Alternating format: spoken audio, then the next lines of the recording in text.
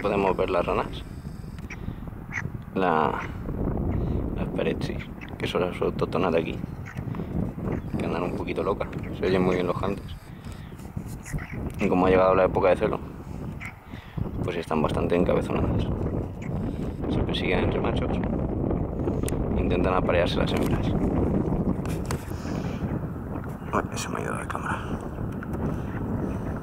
A ver si quiere cantar, que ahora no quiere. Se. Está un poquillo lejos, la verdad.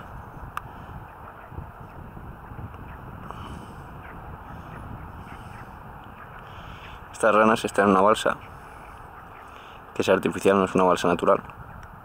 Sin embargo, se abandonó en su día y supongo que serían los dueños, decidieron cortar parte del plástico y las dejaron pues medio al descubierto, la tierra. Entonces como los animales tienen entrada y salida, pues aquí crían infinidad de animales.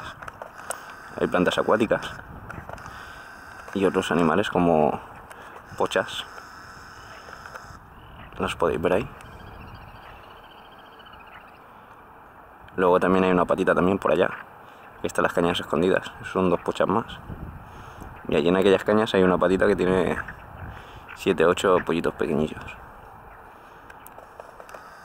Y como os decía, las balsas, si están abiertas, a diferencia de las que están cerradas, o no tienen una gran inclinación, no solo no son muerte, sino que dan vida a otros animales.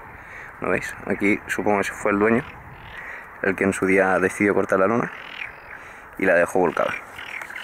Y hay gran, gran variedad de animales. Hay ranas, hay Natris maura, que es una culebra de agua. Y claro, de aquí pueden entrar y salir cuando quieren.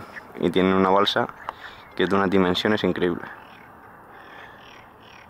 Y es para los animales. Porque como en su día se abandonó, pues ahora lo pueden disfrutar otros animalillos. Y como digo, sin morir. Por dejarlo sin, sin parte de la lona y está bastante escondida. Está en un sitio de una montaña perdida.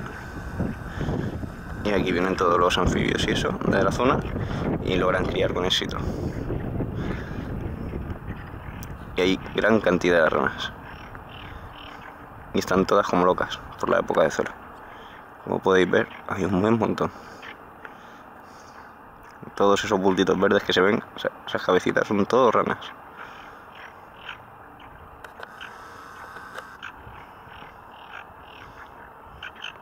Y ahora van muy locas por el cero. Están todas, ven a cantar y a ver quién coge el mejor sitio.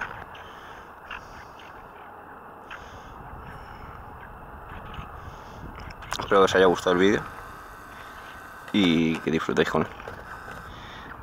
Volveremos otra vez, un poquito más adelante, a ver si conseguimos observar renacuajos. Porque aquí está claro que crían con éxito. Hay gran cantidad. Un saludo.